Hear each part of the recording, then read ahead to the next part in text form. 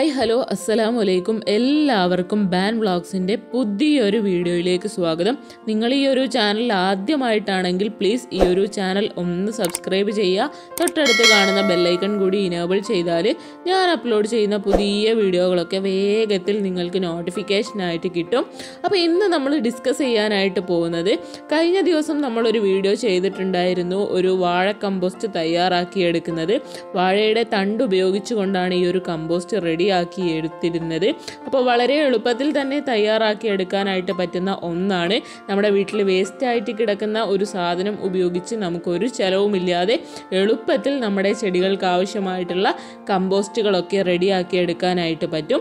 അപ്പോൾ ഈ ഒരു കമ്പോസ്റ്റ് റെഡിയാക്കുന്ന മെത്തേഡൊക്കെ നിങ്ങൾക്ക് കാണണമെങ്കിൽ ആ ഒരു വീഡിയോയുടെ ലിങ്ക് നമ്മൾ ഐ ബട്ടണിൽ കൊടുക്കാം. അതിൽ ക്ലിക്ക് ചെയ്ത് നിങ്ങൾക്കത് കാണാനായിട്ട് പറ്റും. അപ്പോൾ ഇന്ന് നമ്മൾ ചെയ്യാനായിട്ട് പോകുന്നത് ഈ ഒരു കമ്പോസ്റ്റ് ഉപയോഗിച്ചുകൊണ്ട് എങ്ങനെയൊക്കെയാണ് നമ്മൾ ഗ്രോ ബാഗ് നിറയ്ക്കുന്നത്? അതുപോലെ ഏതൊക്കെ രീതിയിലാണ് ഈ ഒരു കമ്പോസ്റ്റ് നമ്മുടെ ചെടികൾക്ക് വളമായിട്ട് നമ്മൾ മാറ്റുന്നത് എന്നുള്ളതാണ്. അപ്പോൾ ഈ ഒരു കമ്പോസ്റ്റ് കണ്ടാൽ തന്നെ അറിയാം നമുക്ക് ചകിരിച്ചോറിന് പകരമായിട്ട് വരെ ഈ ഒരു വാഴ കമ്പോസ്റ്റ് നമുക്ക് ഉപയോഗിക്കാനായിട്ട് പറ്റും. നമ്മുടെ ഗ്രോ ബാഗിലൊക്കെ നല്ല രീതിയിൽ ഈർപ്പവും വെള്ളത്തിന്റെ അംശമൊക്കെ നിലനിർത്താനായിട്ട് ഈ ഒരു കമ്പോസ്റ്റ് നമുക്ക് സഹായിക്കുന്നുണ്ട്. അതുപോലെ തന്നെ ചകിരിച്ചോറിന് പകരക്കാരൻ എന്ന് തന്നെ നമുക്ക് ഇതിനെ പറയാനായിട്ട് പറ്റുന്നതാണ്. അപ്പോൾ വളരെ എളുപ്പത്തിൽ എങ്ങനെയാണ് ഈ ഒരു കമ്പോസ്റ്റ് ഉപയോഗിച്ചുകൊണ്ട് ഗ്രോ ബാഗ് റെഡിയാക്കുന്നത് എന്നുള്ളതും എങ്ങനെയൊക്കെയാണ് ഇത് ഉപയോഗിക്കേണ്ടത് എന്നുള്ളതും നമുക്ക് നോക്കാം. രണ്ട് മെത്തേഡുകളാണ് ഇവിടെ കാണിക്കാനായിട്ട് പോകുന്നത്. ആദ്യത്തെ മെത്തേഡ് എന്ന് പറയുന്നത് ഈ ഒരു വാഴ കമ്പോസ്റ്റ് ഉപയോഗിച്ചുകൊണ്ട് നമ്മുടെ ചെടികൾക്ക് ആവശ്യമായിട്ടുള്ള ഒരു പോട്ടിംഗ് മിക്സ് റെഡിയാക്കി എടുക്കുക എന്നുള്ളതാണ്. അപ്പോൾ ആ ഒരു പോട്ടിംഗ് മിക്സ് തയ്യാറാക്കുന്നതിന് വേണ്ടിയിട്ട് ഞാനിവിടെ നമ്മുടെ പറമ്പിലുള്ള മേൽമണ്ണ് എടുത്തിട്ടുണ്ട്. മേൽമണ്ണ് എന്ന് പറയുമ്പോൾ നല്ല വളക്കൂറുള്ള മണ്ണാണ്. ഒരുപാട് ജൈവ അംശം. അതായത് ഒരുപാട് വളങ്ങളുടെ അംശം ഇതിലുണ്ടാകും. നമ്മുടെ ചെടികളൊക്കെ ഹെൽത്തി ആയിട്ട് വളരും. ഇനി ഇതിലേക്ക് നമുക്ക് ആവശ്യമുള്ള അത്രയും വാഴയുടെ കമ്പോസ്റ്റ് ചേർത്ത് കൊടുക്കുകയാണ് ചെയ്യുന്നത്. അപ്പോൾ ആവശ്യമുള്ള അത്രയും വാഴ കമ്പോസ്റ്റ് ചേർത്തതിന് ശേഷം ഇത് രണ്ടും കൂടി നല്ല രീതിയിൽ നമ്മൾ മിക്സ് ചെയ്തെടുക്കണം. അപ്പോൾ ഈ ഒരു പോട്ടിംഗ് സോയിൽ നമ്മൾ റെഡിയാക്കുമ്പം ശ്രദ്ധിക്കേണ്ട കാര്യം എന്ന് പറയേണ്ടത് ഈ ഒരു വാഴ കമ്പോസ്റ്റ് ചേർക്കുന്നതിലൂടെ ഈ ഒരു സോയിൽ നല്ല രീതിയിൽ തന്നെ ഒരു ലൂസ് കൺസിസ്റ്റൻസിയിലേക്ക് വരും. നമ്മുടെ കട്ട പിടിച്ചൊക്കെ കിടക്കുന്ന മണ്ണാണെങ്കിൽ പോലും ഈ ഒരു വാഴ കമ്പോസ്റ്റ് ചേർത്ത് കൊണ്ട് നമുക്കതിനെ ലൂസാക്കി എടുക്കാനായിട്ട് പറ്റും. അങ്ങനെ നമ്മുടെ മണ്ണ് ലൂസാവുന്ന സമയത്താണ് ചെടികളുടെ വേരുകൾക്ക് നന്നായിട്ട് വളരാനായിട്ട് പറ്റുക. അപ്പോൾ ഇതാ ഞാനിവിടെ ഒരു പോട്ട് എടുത്തിട്ടുണ്ട്. ഒരു പ്ലാസ്റ്റിക്കിന്റെ പോട്ടാണ്.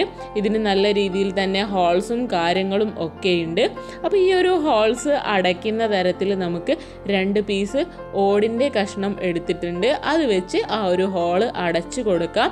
അപ്പോൾ നമ്മൾ പോട്ടിംഗ് മിക്സ് ഇടുന്ന സമയത്ത് ആ ഒരു മിക്സ് വീണിട്ട് ഓളുകൾ അടഞ്ഞു പോവാതിരിക്കാൻ വേണ്ടിയിട്ടാണ് കേട്ടോ ഇനിയിപ്പോൾ ചെടിച്ചട്ടിയിൽ വെള്ളം കെട്ടി നിൽക്കാത്ത അവസ്ഥ വരാൻ വേണ്ടിയിട്ടുമാണ് ഈ ഒരു ഓടിന്റെ കഷ്ണം വെച്ചു കൊടുക്കുന്നത്. അതിന്റെ തൊട്ട് മുകളിലായിട്ട് നമുക്ക് ഏതെങ്കിലും കരിയില ഇട്ട് കൊടുക്കാം. ഞാൻ ഇവിടെ ഇട്ട് കൊടുക്കുന്നത് വാഴയിലയാണ്. എന്റെ കയ്യിൽ ഉണങ്ങിയ വാഴയില ഉണ്ടായിരുന്നു. അതുകൊണ്ട് ഞാൻ അത് ഉപയോഗിക്കുന്നു. കരിയിലയാണെങ്കിൽ കരിയിലയും നമുക്ക് ഉപയോഗിക്കാം. ഇനി തയ്യാറാക്കി വെച്ചിരിക്കുന്ന നമ്മുടെ വാഴയിലയും ചേർന്ന ആ ഒരു മിക്സ് ഈ ഒരു പോട്ടിലേക്ക് നിറച്ചു കൊടുക്കുകയാണ് കേട്ടോ ചെയ്യുന്നത്. ഈ ഒരു ചെടിച്ചട്ടിയിലേക്ക് നമ്മൾ മുഴുവനായിട്ട് ഈ ഒരു പോട്ടിംഗ് മിക്സ് നിറച്ചു കൊടുക്കുന്നുണ്ട്. ചെടിച്ചട്ടി നിറയുന്ന വിധത്തിലാണ് കേട്ടോ ഈ ഒരു പോട്ടിംഗ് മിക്സ് നിറയ്ക്കുന്നത്. കാരണം ഓരോ ചെടിയെ അനുസരിച്ചിരിക്കും നമ്മൾ പോട്ടിംഗ് മിക്സ് നിറയ്ക്കേണ്ടതിന്റെ അളവ്. അപ്പോൾ മറ്റേതെങ്കിലും പ്ലാന്റ്സ് ആണ് നമ്മളിത് നടുന്നതെങ്കിൽ നമുക്കത് മുക്കാൽ ഭാഗമൊക്കെ നിറച്ച് വെച്ചാൽ മതിയാവും. അപ്പം ഞാനിതിൽ കണ്ണാടിച്ചെടികളാണ് നടാനായിട്ട് പോകുന്നത്. നമ്മുടെ കോളിയസ് പ്ലാന്റ്സ്. അപ്പോൾ അതിന് വേണ്ടിയിട്ട് ഞാൻ ഈ ഒരു പോട്ടിന്റെ ഫുള്ളായിട്ട് നമ്മുടെ പോട്ടിംഗ് മിക്സ് നിറച്ചു കൊടുത്തിട്ടുണ്ട്. ഈ ഒരു കണ്ണാടി കണ്ണാടിച്ചെടികൾ നമ്മൾ തലേ ദിവസം മഴ പെയ്ത സമയത്ത് നമ്മുടെ ചെടികളൊക്കെ ചാഞ്ഞു പോയിട്ടുണ്ടായിരുന്നു. അപ്പോൾ അതിന്റെ ടോപ്പായിട്ടുള്ള ഭാഗങ്ങൾ നമ്മൾ നടാനായിട്ട് കട്ട് ചെയ്തെടുത്തിരിക്കുകയാണ്. ഇതുപോലെ ചെടിച്ചട്ടിയുടെ അറ്റത്തായിട്ട് വേണം കേട്ടോ ഈ ഒരു കണ്ണാടി ചെടികൾ നട്ടു കൊടുക്കാനായിട്ട് ഇതുപോലെ അരികിലൂടെ നമ്മൾ നട്ടു കൊടുക്കുകയാണെങ്കിൽ ഈ ഒരു കണ്ണാടി ചെടികൾ വളർന്നു വരുന്ന സമയത്ത് ഇതിൽ തിങ്ങി നിറഞ്ഞതുപോലെ വളരും. അപ്പോൾ ഒരു ബുഷി ആയിട്ടുള്ള ഫീൽ നമ്മുടെ ചെടിച്ചട്ടിക്ക് ലഭിക്കുന്നതാണ്. ഇങ്ങനെ ബുഷി ആയിട്ട് വളരുന്ന സമയത്ത് ഇതൊന്ന് കാണാൻ വളരെ ഭംഗിയാണ് കേട്ടോ. അപ്പോൾ ആ ഒരു ഭംഗി മെയിന്റെയിൻ ചെയ്യാനാണ് ഈ ഒരു രീതിയിൽ നമ്മൾ നട്ടു കൊടുക്കുന്നത് അപ്പോൾ ഒന്നാമത്തെ മെത്തേഡ് ഇതാണ് നമ്മൾ മണ്ണിനൊപ്പം ഈ ഒരു കമ്പോസ്റ്റ് കൂടി മിക്സ് ചെയ്ത് ചെടിച്ചട്ടികളിലും ഗ്രോ ബാഗിലും ഒക്കെ നിറച്ച് നമുക്ക് ആവശ്യമുള്ള ചെടികൾ നട്ടു വളർത്തുക എന്നുള്ളത്. രണ്ടാമത്തെ മെത്തേഡ് എന്താണെന്ന് വെച്ച് കഴിഞ്ഞാൽ നമ്മുടെ ചെടികൾക്ക് വേണ്ടിയിട്ട് ഈ ഒരു പോട്ടിംഗ് മിക്സ് ഉപയോഗിക്കുമ്പോൾ നമുക്ക് ആവശ്യമുള്ള അളവിൽ ഒരു കൈപ്പിടിയോ അങ്ങനെ എടുത്തിട്ട് നമ്മുടെ ചെടികളുടെ ചുവട്ടിൽ ഇട്ട് കൊടുക്കാം. പച്ചക്കറി ചെടികൾക്കും പൂച്ചെടികൾക്കും ഇലച്ചെടികൾക്കും എല്ലാത്തിനും നമുക്ക് ഈ ഒരു കമ്പോസ്റ്റ് ഉപയോഗിക്കാനായിട്ട് പറ്റും.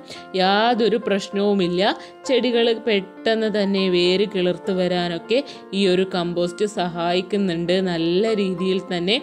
അപ്പോൾ അതാ ഞാൻ എന്റെ വഴുതന ചെടികൾക്കും വെണ്ട ചെടികൾക്കും ഇഞ്ചി മഞ്ഞൾ തുടങ്ങിയ എല്ലാ വിളകൾക്കും ഈ ഒരു വേസ്റ്റ് ഇട്ട് കൊടുക്കാറുണ്ട് കേട്ടോ അപ്പോൾ അതാണ് നിങ്ങൾക്ക് കാണിച്ചു തരുന്നത് ഈ ഒരു രീതിയിൽ നിങ്ങൾക്ക് ചെടികൾ ഈ ഒരു കമ്പോസ്റ്റ് തയ്യാറാക്കി ഉപയോഗിക്കാനായിട്ട് പറ്റും.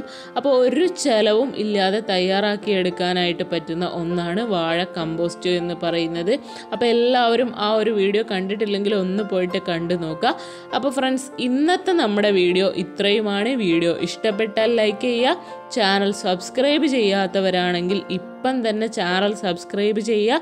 അപ്പോൾ പുതിയ കൃഷി റിലേറ്റഡ് ആയിട്ടുള്ള ഒരുപാട് വീഡിയോകൾ വരാനിരിക്കുന്നുണ്ട്. നമ്മൾ ഉടൻ തന്നെ പുതിയ ഒരു ടോപ്പിക്കുമായിട്ട് വരാം. അതുവരെ എല്ലാവർക്കും താങ്ക്